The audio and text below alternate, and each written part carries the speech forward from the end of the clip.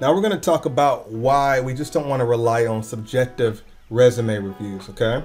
Now the first thing we want to think about is how job history does not communicate skill proficiency.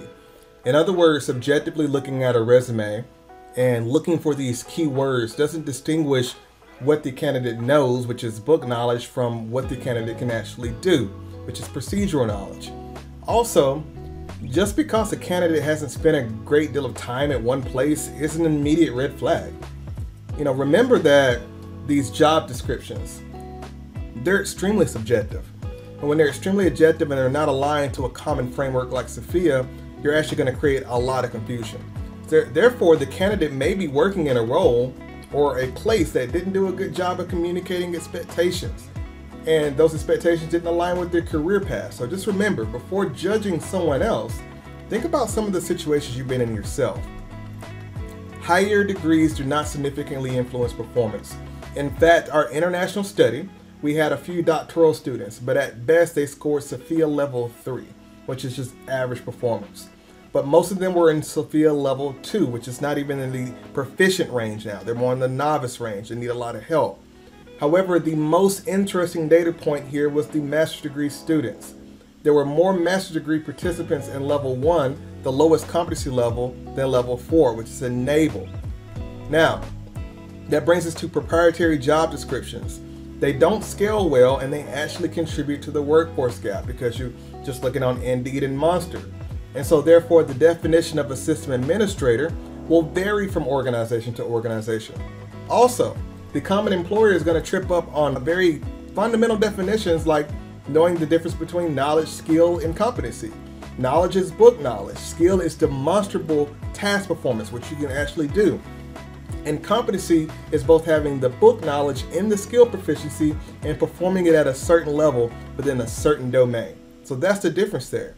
Now, what this brings you to is these highly advertised certifications they do not significantly influence performance. Even the gold standard, the CISSP itself, advertises itself as being the one certification that were certified people versus non-certified people. The certified people were supposed to perform better, right?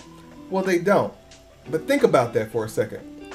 How can a multiple choice exam that prioritizes memorization actually ensure skill proficiency, high levels of task performance, now that was debunked in 2020. There was a study that was conducted. They showed that CISSP certified professionals did not outperform non-CISSP certified professionals when they were doing certain tasks.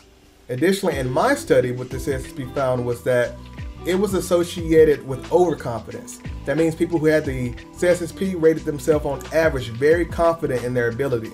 But when it came to actually identifying controls that resulted in data breaches, they were just either average performers or they were even novice performers. So, in summary, a single certification does not influence proficiency. However, my study found that combining both implementing and auditing certifications as well as vendor specific certifications like in Microsoft, Kubernetes, Palo Alto, and so forth, those were associated with the top performers.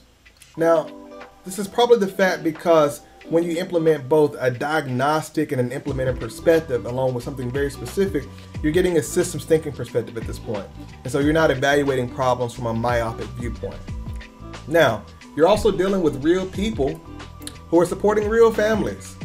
Think of your daughter or your son or loved ones on, was on the other end of this hiring process. Would you quickly thumb through that resume or make a gut response or a quick decision? You probably wouldn't. And so you got to think about why are we boiling down people to these bullet points? They're more than that.